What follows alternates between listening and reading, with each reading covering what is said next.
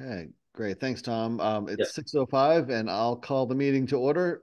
Um, it's the January twenty-fourth, twenty twenty-four meeting of the Scarborough Housing Alliance. Uh, so thank you, everybody, for coming and thank you to our guests for being here. Um, we've got a couple items on the agenda and the, uh, the first of which is the approval of the minutes from September twenty-seventh, twenty twenty-three.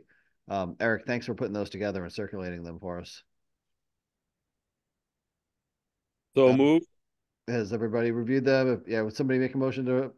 That was Bob. Bob motioned. Yeah. or is there a second? I can second. All right, thanks, Michaela. Any discussion? Hearing none. All in favor of approving the minutes from September twenty-seventh, twenty twenty-three, please say aye. Aye. Aye. Aye. Aye. Great. Um, anybody opposed? Um, great. I think that's everybody. Um, they are unanimously approved.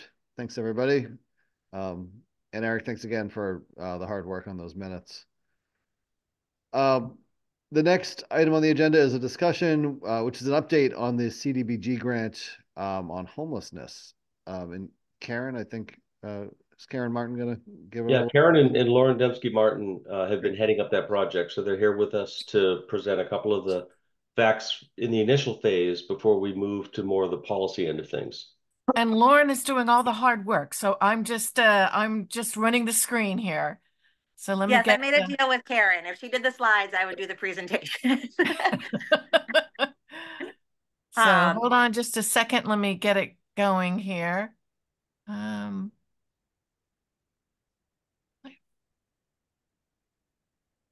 Awesome. You can skip to that first one, Karen, if you want to. So, um, thank you all uh, for letting us present tonight. I think that it's you know really important in that we wouldn't have been able to do this grant and um, kind of secure it and be able to allocate what we're looking to kind of achieve through this without the support you know of town council of the town public safety. So, thank you. Um, and we again we just kind of wanted to give an update as to where we're at right now. Um, so the uh, community block grant that we got through Cumberland County runs from July 2023 through June of 2024. Um, and initially, this was kind of, um, I guess, highlighted for me and Karen because in the fiscal year of 2022, we were seeing a huge increase of unhoused population in Scarborough, um, which really kind of brought to our attention what can we be doing to a kind of secure some services for those unhoused people as well as proactively try to figure out how we can kind of decrease that number um, in in a, again a proactive way. Um, so that's what kind of prompted us to apply for this. Um, and in 2022, we were still seeing kind of the trickle down of ERA. Um, so Comfort Inn was still kind of functioning as almost a shelter in some ways, and then those people were being discharged um, or evicted, and so then they were kind of unhoused here in Scarborough, and we were dealing with that. Um, so we were uh, awarded fifteen thousand dollars through this grant, um, and we. Um, so what we were looking at doing was kind of two things, which I'll go into in just a moment. Um, but initially what we were looking to do was some kind of grassroots work um, and that was really to start to do some assessing around what the unhoused population looks like um, really kind of talk to the individuals that are unhoused here in scarborough uh, have conversations and uh, kind of develop some data around you know what resources were they already accessing? What did they feel like would be helpful to them? Were they willing to be sheltered? Um, and just kind of asking some of those questions. And then once we received that data our next step was going to be to do um, some kind of uh, compilation of that data and some consulting around next steps for the town so in July of 2023, um, the town of Scarborough contracted with Milestone's home team. Um, and I'm not sure if anyone's aware of what uh, the home team is, but right now they uh, provide services mostly in the Portland area to the unhoused population. Um, so it's a big black van if you've seen it driving around Scarborough at all. Um, but they really do um, outreach to those that are unhoused. They help to hook them up with resources they can actually transport them, um, which is uh, huge and um, kind of a, a, major success here. So they're able to transport them to the shelter. Um, if they are going to be leaving an encampment, they're able to kind of help pick up some of the trash. We were able to work with um, the um, you know local kind of dumpster around being able to put some trash in there to clean up some of the encampments and home team has been able to support that they have a nurse on staff one day a week so they're able to actually bring that nurse into encampments if there's some kind of minor medical care that's needed to be done so we thought they would be a good team to contract with. Um, and so they were the ones that we decided to help with the assessments starting again in July of 2023. And our goal was from July, August, and September into October a little bit uh, to really kind of collect that data. Um, so during that time period, we were able to talk to 13 individuals, which I'll show in just a moment kind of what that data was. Um, any questions thus far? I talk really fast, so just slow me down if you need me to. Okay. For some reason, there we go. So kind of I put together this map of, um, you know, highlights in Scarborough around where we're seeing the unhoused population. Um, and as it indicates, it's mostly the Payne Road corridor. Um, so where kind of all those yellow stars are, that is where uh, we're remaining to see some unhoused individuals. Um, the red stars are the two motels that we tend to access through general assistance. So it tends to be um, unhoused individuals that are maybe accessing general assistance, um, staying a couple nights at a motel, and then probably becoming unhoused again. Uh, so these are folks that are kind of chronically unhoused. Um, so um, right now, or well, in August, I guess we'll move back to August. In August, there was about eight to 10 individuals off the Payne Road corridor um, and about three individuals um, off the Gorham Road, one to two individuals in the Pine Point Dunstan area, and two to three individuals, again, that would rotate kind of through general assistance and being unhoused. Um, currently, though, is what this map represents, which is about six to, I'd say, seven individuals off the Payne Road corridor.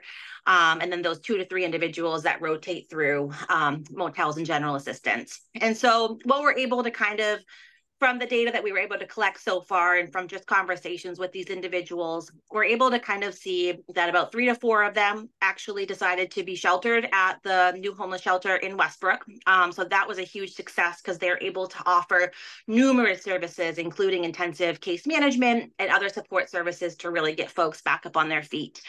Um, one of the individuals uh, that was in the Dunstan area, we were able to secure a long-term winter rental. Um, this individual has like an intensive, what they call an ACT team. Um, so they're able to check in with this individual and was able to secure a long-term rental. Um, we were able to, um, then also there was two to three individuals who were in one of the encampments that relocated to another town. I believe they're still unhoused, but they moved to a different town to be closer to some service providers.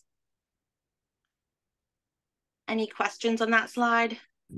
Hey, Lauren, on, on that Yeah. Road, on that Payne Road corridor, is there a hotel that was used to to um, house people experiencing homelessness? Um, right, kind of on the way to Target.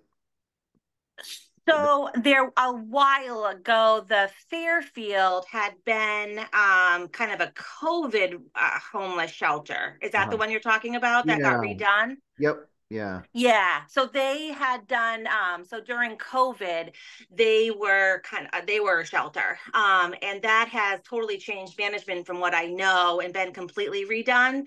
Um so it's no longer obviously acting as a shelter, but yes, the Fairfield had at one point. It is, I mean, it, Payne, that area of Payne Road is a pretty heavily trafficked area. Is there anything that like makes that a good place to like hang out as a as an, As an unhoused individual? Yeah, it doesn't look that I don't know. It um looks like a busy area. Uh and I'm Yeah. wondering why why there's that clustering. Sure. So what I've heard and just kind of through conversations with the individuals that are accessing that area is a couple things. So one is because it is a busy area, they're able to access the dumpsters at night. So they can do right KFC, they can do what is it, like Texas Roadhouse, like all those places. That's actually like how they're getting some of their, you know, foods and basic needs. Uh, we certainly know, and kind of from the public safety PD perspective, we're getting a lot of theft complaints from Martin's, Walmart. And so they're able to kind of, again, access some of those basic needs from those big box stores. And it's also easy access over to South Portland. So the bus, the metro, which is what um, a lot of folks end up using to commute into like the greater Portland area, runs from the Maine Mall. So it's easy access right there um, versus like the um, OOB Biddeford Saco Green Line runs more up in Oak Hill, but doesn't go into greater Portland. Interesting. Yeah, there's also a bus stop uh, on Gallery Boulevard in front of Walmart that takes you into the South Portland system. Yes. Thank you. Oh, Interesting. Thank you. Yeah, so those are kind of that's the key highlights that I've heard so far around Yeah. Payne Road corridor. Ah, So, um, what we've learned kind of so far is when we compare back to 2022, um, we obviously um, don't not have the Comfort Inn functioning as a shelter anymore. Um, and we also know there's a substantial decrease in individuals kind of utilizing the parking lots and employing cars as shelter. Um, there are certainly still, I think there's like two to three individuals I know right now that are living, you know, out of their car as shelter.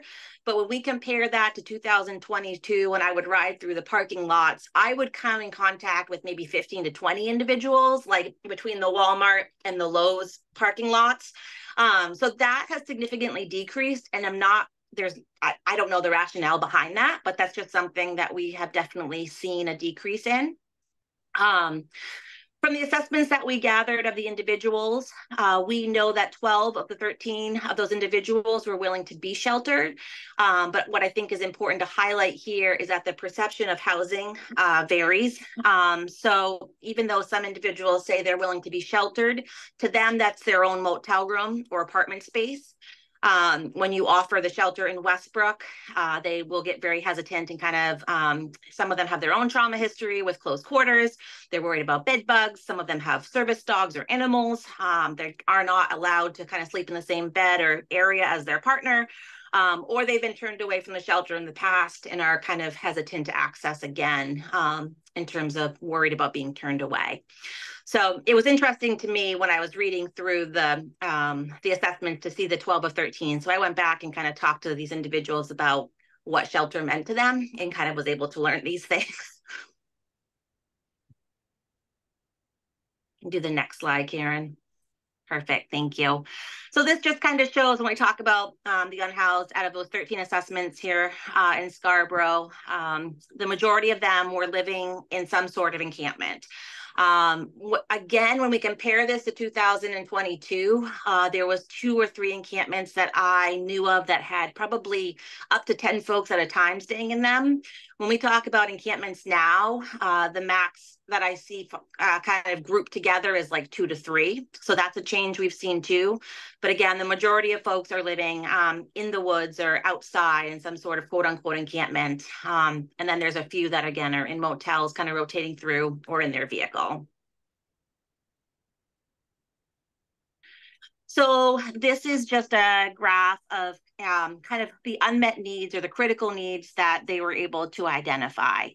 Um, and obviously the greatest need and pretty much one that everyone checked off was housing vouchers.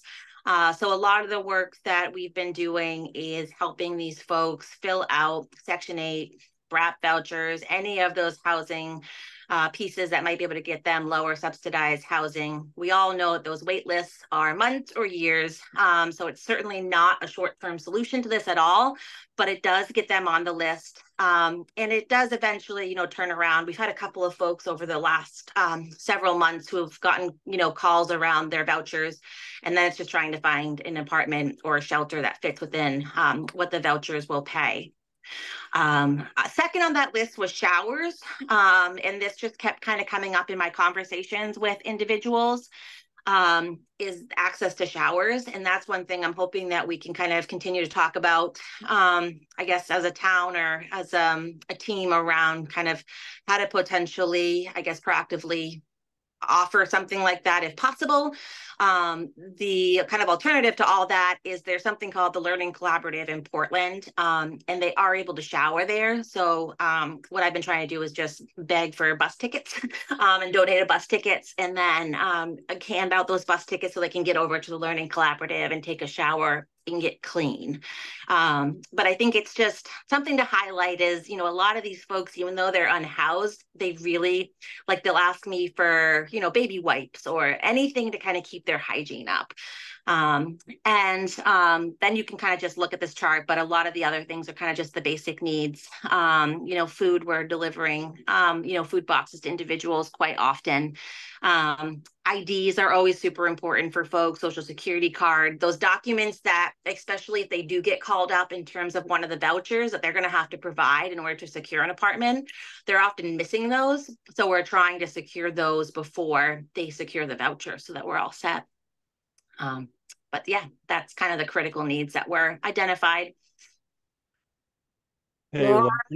It's, uh, it's Bob Net. I just have a quick question. What, those categories down at the bottom, what is SU treatment? And way over on the right, what is DEEP? Yeah, good, good question. All those acronyms, right? Um, so SU treatment would be substance use. Um, so obviously we know a lot of the unhoused population have some sort of mental health or substance use. Um, so trying to get into substance use treatment. And then DEEP is if they have ever been pulled over for like an OUI um, or an alcohol related uh, vehicle charge. Um, there's a DEEP course, which is something they need to go through in order to get their license back.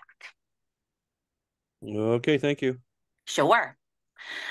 Um, so one of the other pieces of information that I think is just super important right now is to know that the Westbrook shelter is actually closed to any individuals that are not living in Portland encampment. Um, and I think this kind of came to be, well, it came to be at the end of December when we were looking to actually place a couple people at the shelter. We learned that they were not willing to accept them um, and they were only willing to accept individuals again that live in Portland um, due to the sweeps that they're doing right now in Portland. And there's also a diversion program um, where somebody's able to commit to going to the shelter, they're able to divert some charges if it's a Portland individual.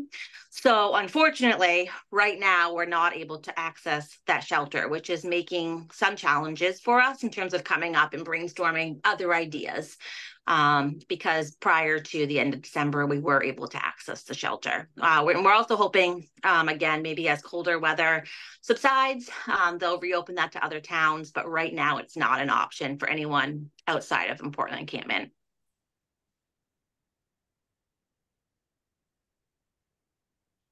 So that is the kind of brief presentation, um, you know, that we have. The next steps that I think we're looking to achieve here um, is, and Karen, you can chime in here anytime you want, but um, we have what's called our law enforcement assisted diversion program, and we have a pretty good steering committee of a variety of stakeholders, you know, kind of across the board, mental health providers, our district attorney's office, law enforcement, um, and we're really hoping to use that group to kind of brainstorm next steps steps now that we've collected, you know, some data. Um, I'm excited because I see a lot of progress um, and a downward kind of trend here, not an upward trend in any, you know, shape or form. So I think that that is promising news. Um, and one of the things I guess I just want to point out or kind of say to this council is I think a big part of that is the way that we have structured kind of our general assistance um, within the public safety building. I think that that has actually been uh, a huge success because I'm able to really work closely with general assistance and also um, our lead case manager in terms of really kind of getting somebody in and then fast tracked through the referral process, the eligibility, um, and really kind of just connecting them to any continuity of care or resources that they need and we're able to do it in a pretty flawless way, which I think has been really helpful in terms of finding folks shelter. Um, so we're, we're, unique in that fashion because I think we're the only town that functions with a general assistance embedded in a public safety building, um, but it really seems to be working. So I think one of the interesting things is having this diverse group of folks who can review the information that um, uh, Lauren and the consultants have put together. Uh, and I think it's also helpful that this group, which has a really diverse set of providers, uh, can help us think through like, well, why do we think it decreased? And Lauren has pointed out some some of the reasons. And I think we asked them directly, well, do you think it's going to, what Portland is doing in terms of um, uh, removing some of the encampments, do we think that's going to be really spilling over to Scarborough? And thus far, that doesn't seem to be happening for one reason or Mm. another. And I'm I'm hoping, Lauren, um, it's the case that with the new shelter that opened, and with the diversity of services and you know the newness of that facility, and really, I think some rich independent services like they have. They have the ability to do laundry. They have a lot of things that perhaps they did not have before. So I'm hoping, and I know the city of Portland is hoping that a lot of these folks really did go into the shelters, but I don't know what, I don't think we have numbers on that. The only thing I know around the shelter right now is like the shelter is full. So that is a good sign. You know, we know that at least folks in Portland are accessing the shelter as of like last night. Like usually each night right now, there's like two female beds available, which is huge compared to two months ago when there would be 50 female beds and 50 Mhm. male beds. Lauren, Lauren, can I ask, your PowerPoint shows a Westbrook shelter? What, where's the shelter in Westbrook? So everyone asks this. So the homeless services shelter, which is run through the city of Portland, is in Westbrook. It's right over the line.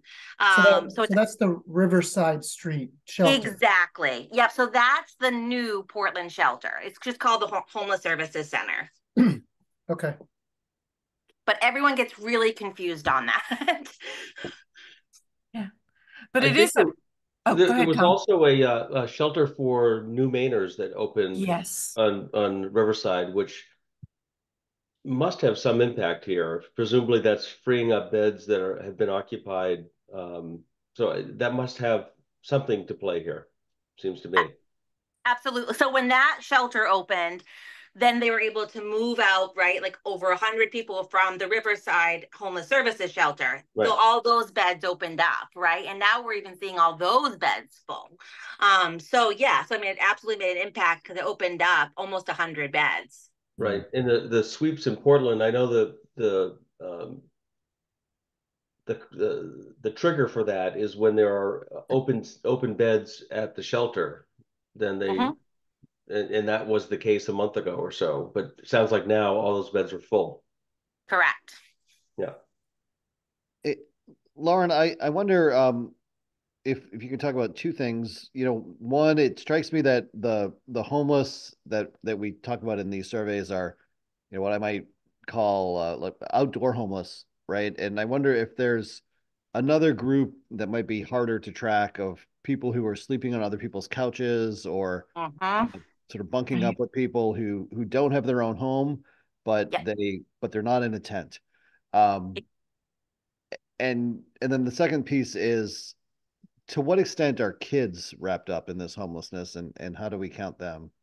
Yeah, good question. So what I can say is we're absolutely missing that population in terms of this data collection. So we're trying to actually do, and not necessarily part of this grant, but just in terms of kind of general assistance is where we are trying to collect some data around those folks that are staying with family members or friends um, and kind of get a better grasp. But that is not captured in this data um, because we weren't, those people tend to kind of trickle in, trickle out, and it's hard to necessarily um, kind of stay in contact with them. So we definitely are trying to track some of that and get some better numbers around those that are quote unquote unhoused, but really have some sort of shelter over their head. It's just not secure and long term. Mhm. Um, so it's a great question around that, but that's not captured necessarily in these assessments. And then in terms of kiddos, we're not seeing any kids like in the outside encampments. Um, I'll say like over the last three years that, you know, I've kind of been going into encampments, I would say there's been like maybe two kids that I've ever encountered. Um, but there is not currently, nor has there been kind of for the last at least year and a half, any kids in any of the encampments. Um, and if there is, I mean, obviously that's a huge risk factor and kind of goes to child protective services and we get involved and um, figure out how to um, make a change there. Um, when you look at those, like the couch surfing and things like that, there are certainly high school students. So I'm working with some of the guidance counselors and social workers at the high school um, when they're able to identify like a high school student who has either been, you know, kicked quote unquote kind of kicked out of their home, have chosen to left their home, staying with friends. And those folks really are quote unquote again like unhoused. Um, but how do we kind of capture that? So I think when we look at unhoused, it's really if we're looking at kids at all, it's going to be like the high school population um, around, you know, not being kind of at their parents' home. Does Mhm. that make sense? It does. Thank you. Incidentally, I think I think I figured out the video. So if someone would be so bold as to try their video now. Oh dear. Hey, look at that. That. Now turn it off now, Brian. Yeah, right. Enough is enough. I should also mention, um, one of the challenges, uh, you know, you saw that concentration of the encampments along, uh, Payne Road. A number of those encampments, uh, have been on land trust property and on town property. And, uh, Lauren's made contact with them, uh, you know, and, and, um, we've moved them along uh, to the extent we can. There's a number of others on private property and Lauren, may- maybe you could describe some of the challenges we find dealing with a, a private property owner. Sure. Um, so one of the biggest challenges we've recently had um, is just trying to track down the property owner. So obviously, like we can uh, we can look on like the GIS system and figure out who it belongs to. But like recently, I think most people know about the shipping container on Payne Road, um, and we recently had two individuals move into that shipping container. Create a nice little wood stove. Uh, we got call after call of wood smoke kind of coming out of the top of that. So I attempted to contact that property owner. Um, there was no response, no response. Sent the PD in terms of the town that this property owner lived in um, to try to track him down. Um, no response there. Finally, um, as of two nights ago, the property owner did come into the PD um, and has agreed to criminally trespass these two people. So we are making some progress. Um, but really, when it's on private property, it's up to that property owner to come to the PD, write a witness statement, and then we'll go in and we'll trespass them. Um, but if you have a property owner who doesn't care, um, who doesn't live in the town of Scarborough, so is not kind of coming to that land, um, has not posted that land at all, it's really tricky. Um, and it's kind of comes down to, you know, do we go and track them down and how much work and effort do we put into that? Um, this circumstance, I think we put quite a bit of effort into because it needed to be done for safety and code reasons.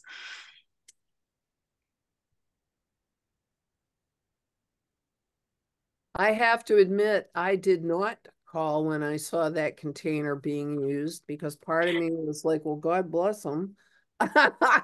But the other part of me was like, oh, geez, um, safety and, and whatever. So I'm glad to hear someone did um contact because I don't think of it unless I'm driving by and then it goes in one side of my head and out the other. But yeah.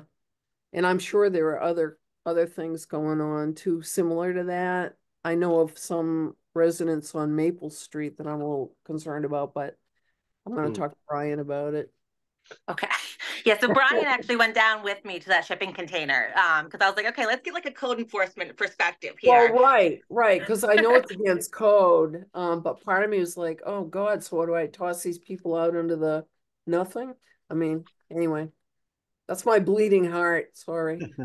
You have to, it's walking right that fine line of, you know, obviously this isn't safe and this isn't um how we want these, you know, folks to be living. And yet, like with these two individuals with the shipping container, they're just not willing to agree to other resources or support services. So how, you know, my work with them is really like, how do I proactively keep them warm, right? Like now that they're out of the shipping container and they're going to be back in the woods. And how do we do that? Know. um, without putting propane heaters in tents that could potentially blow up or what else, you know, is kind of the challenges. So that's always uh, a fun puzzle to piece together. And, and all I can think of is I know or I've read of the use of shipping containers for housing. Obviously fitted out correctly and meeting code. Um, but yeah, uh, uh, I mean, it's, it's, it's but that hard- individual is, is, is interesting in that they, they simply choose to live. That's the lifestyle. Now, there may undoubtedly, there are probably underlying conditions, oh, but yeah. Uh, I know uh, Lauren has been in touch with them for three years consistently, I think. Oh, and yeah. Has moved from place to place and that's a, uh, that's the choice they've made. And pa- and, Yeah. and, and they've countless times passed up um, actual housing vouchers, right? And, Yeah. opportunities. Yeah, that's what's really difficult. Hmm. Yeah. I may have him agreed right now to access a short-term motel uh, for two to three weeks just to keep him warm. So fingers crossed. That's my goal tomorrow. God bless you for doing this work. Holy moly. But, but don't some of these people not want to go into shelters because of the conditions or the requirements of, of being in the shelter or their substance abuse or, or whatever? Oh, absolutely. Yes. I mean, that's, you know, I guess I didn't have up on that list before, but you point out a really good, um, you know, thing around substance use is yes, obviously you cannot use at the shelter. Um, you know, you can smoke a cigarette or a butt outside, but you know, anyone else who's using um, opiates or anything like that, you cannot do that at the shelter. And so you're right, that impedes somebody's, you know, want or desire to access that for shelter. Hmm. So some of this is choice and addiction and all those intertwining challenges. Yeah. So So then- remind, remind us, what are the next steps? We've got four or five more months, uh, on this grant period. Yes, so the next phase is really talking a- about policy. You know, what what have we learned from the assessments and then how do we translate that into to actions? And what actions, what what are the range of actions that that would be appropriate for Scarborough? And I think I don't think this study is going to do it, but I think in terms of of sort of a bigger housing question, and I think the bigger housing question is you know, I think we've been providing a lot of housing in in Scarborough, um, certainly compared to other folks. So what does that mean? How do you does that trickle down? What does that mean in terms of the the total demand both in Scarborough and in the region? And that those are some big questions that um, we probably need to come back to this committee to discuss. So if anybody's got thoughts about um, policy and you know, send a note to Lauren or to me. Hmm. Um, and I, I think that really is our next step.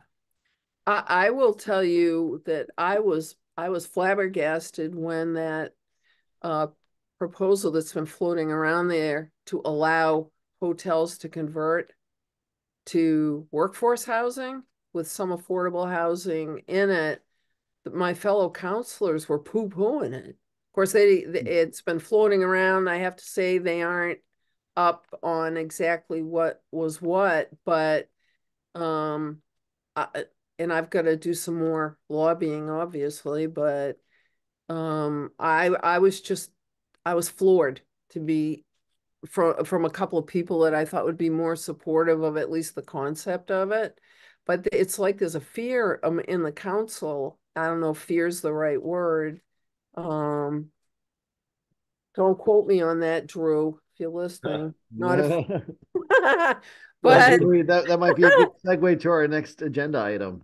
yeah, but anyway, of of um this balance between growth and the concerns about growth that that have been, you know, uh named in in our survey, community survey.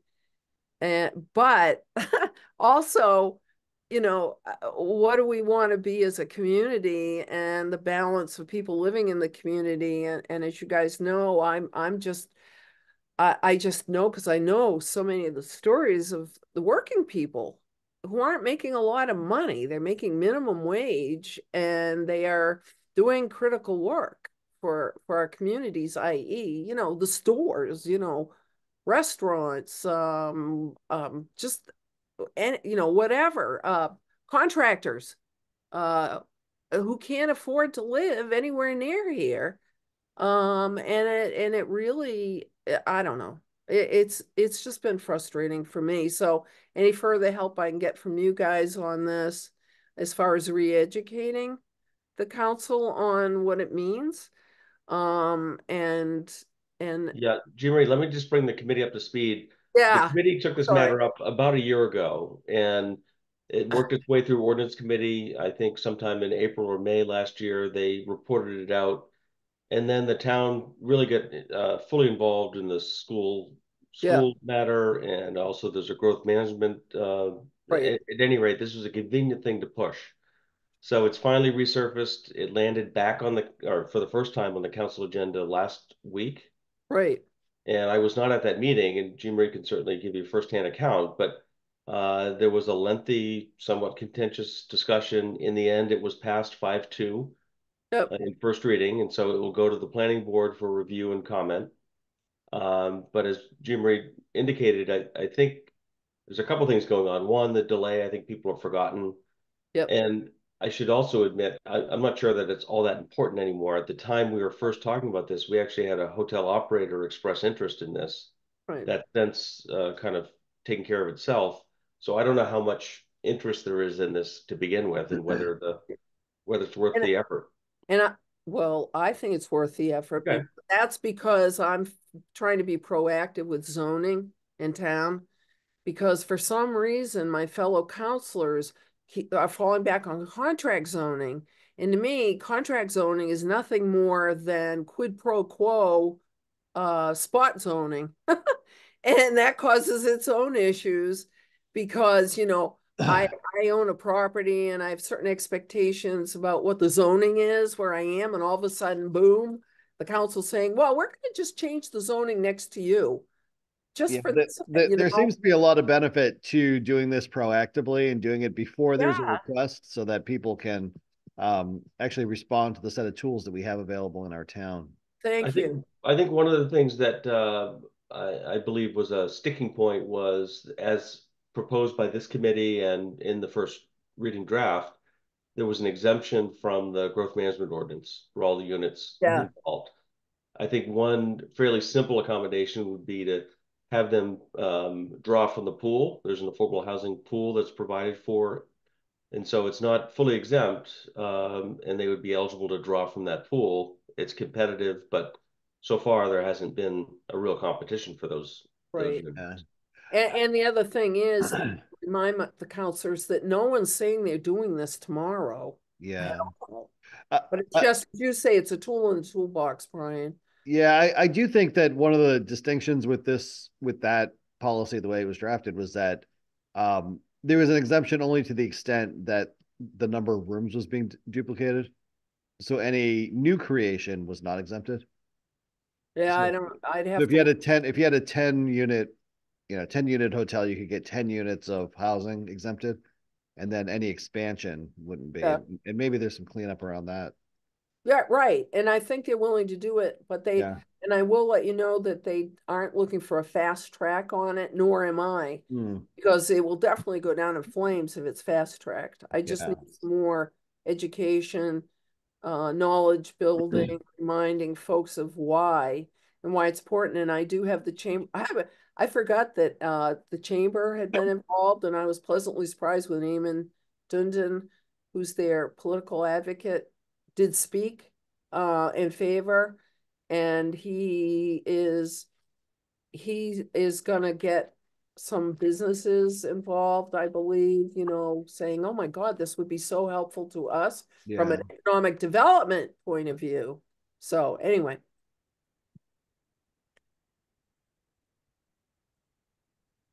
So Brian, I think there's an opportunity for this community to perhaps to be involved and, and weigh back in on the matter uh, when it circles back to council. Um, I'll be sure to share with you the planning board's uh, comments on the on the topic. great. Oh, that's terrific. Yeah, you know, I do remember um over the past year-ish, um, in other jurisdictions that I've done work in, seeing um hotel motel conversions for sale uh elsewhere in the country. Yep. Um, you know, this is this is a thing that's done to create affordable housing and and workforce housing. Um, and with interest rates rising and construction costs going up, um, you know, the more tools, the better. Yeah, yeah. the other thing I'd just note, a year ago, I think we are all theorizing that hospitality might be changing, you know, and, and they might, you know, hotel operators might be looking for an alternative. Yeah, Uh, interestingly, I'm not sure what's, uh, I can't speak to it. Uh, we have two hotels being proposed in town, so there's, there's new construction in hotels, Yeah. so I'm not sure if that theory works. well, right, and I, and I tell you that it's my understanding, and this is very unofficial, but from my contacts, whatever, that VRBO and uh, you know, Airbnb is not as popular as it was. Hmm. Um, so anyway, it's like anything, things shift, but I just want it to be available in case we ever needed something like that or the opportunity presented itself. That's all I'm saying. I just thought it was a cool idea. Yeah. you go.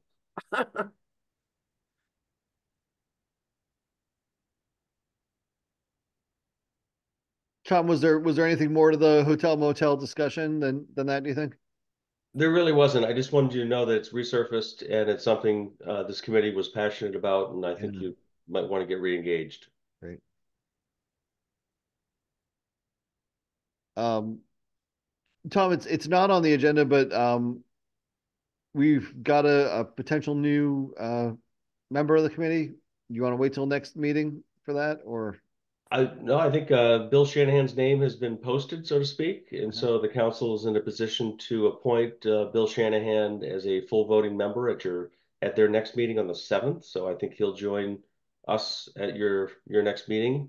Um, Brian, do you want to give just a quick little backdrop on, on Bill, or do you want to save that for his appearance? Well, I, I think we can save most of it um, for his appearance, but I'll, I'll say that he's uh, originally a nationally recognized expert in housing. Um, he's a Scarborough resident, and and we will, um, you know, if and when he's appointed, uh, we will benefit from his his presence on the committee. And I need to Oh. confirm this, and I think he's taking the place of Dick LaRue. Dick Yes. chose not to be reappointed. And it's not an if, it's a when, okay? That committee. Anyway, Uh, uh, I'm trying to respect the role of the council, Jean Marie. Yes, I know. I know. Great. Um,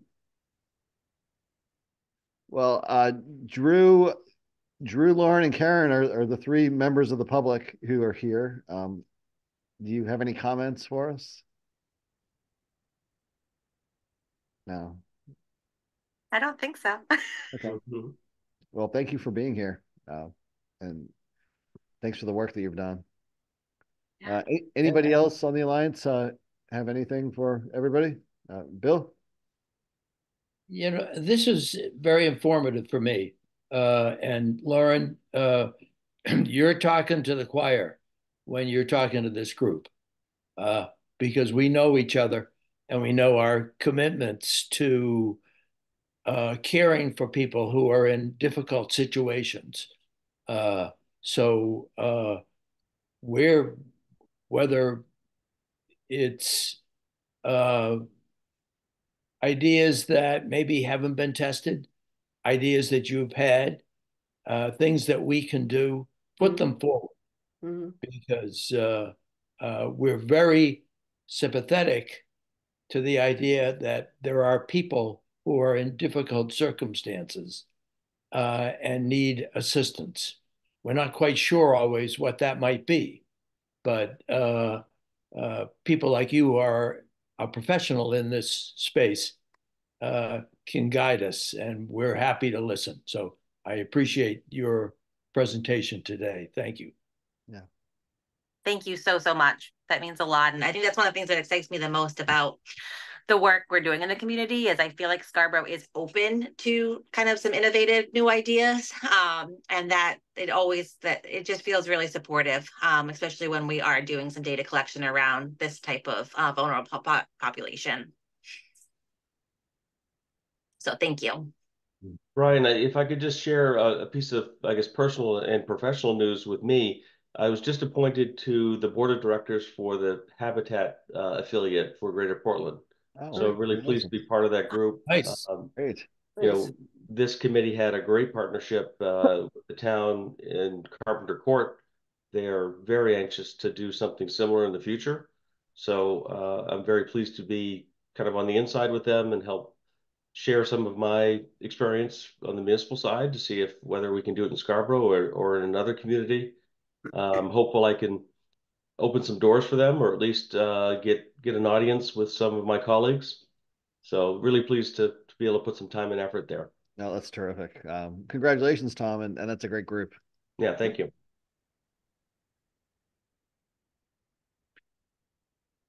Would anybody like to tackle the last item on the agenda for us? please. Bill, you're usually good at that. What's the last item on the agenda? It's titled adjournment tonight, Bill. Oh, so moved, so moved. All right. Thank you, Bill Donovan. Good We're to, adjourned at six fifty. good to see all of you. Good to see everybody. Thank you. Thank you, Thank you for your patience. We'll be back, we'll be back in person, uh, next, next meeting. We'll have a hybrid option, of course, too. Okay? Uh, Sorry, sorry about the bad light, but the lanai doesn't have good lighting. Oh, stop it. Struggle is real, Bob. Tom, I hope you're feeling better. You look, you look a little better. you're recovering. Yeah, I am. Thank you, though. Thank you all. Yep, thanks. Bye, everybody. everybody. Bye, Bob. Nice evening. to see you. Haven't seen you in ages. Bye. Bye. Karen, Karen, we well, still need that coffee. We do. That sounds Yeah. great. I'll, I'll be in touch. Okay, great. Luna Cafe. There you go. Bye-bye.